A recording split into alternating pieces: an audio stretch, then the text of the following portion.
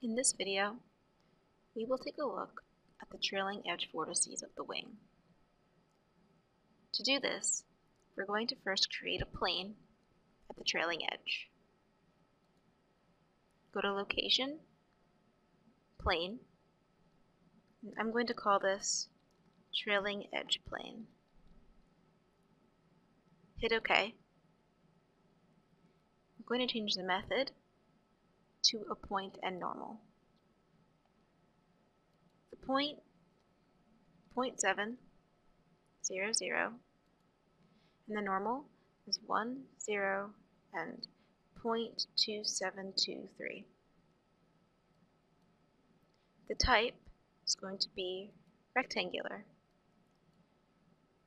We're going to change the x size to be 3 feet and the y size to be 1 foot. The plane type we're going to change to be sample. We're just going to leave that as is. Hit apply. And if we go to the x-axis, you can see our plane right there. When we're looking at the trailing edge vortices, we don't actually want to see our plane. So unselect this. Now we're going to plot the velocity at the trailing edge. Go to the vectors and call this trailing edge velocity vectors. Hit OK. So the location is going to be the plane that we just created trailing edge plane. And we're going to change the sampling from vertex to equally spaced. The number of points, 1000, and leave the variable as velocity.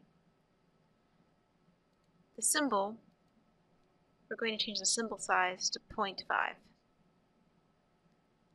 Hit apply, and let's zoom in. It's easier to see these vectors if we change the background color. So right click on the background and go to viewer options. In the background, we're just going to change this color type to solid and change the color to a simple white background. Hit apply. And now we can see our velocity vectors at the trailing edge. And we can look along the wing and we can see how there's a trailing edge vortex here.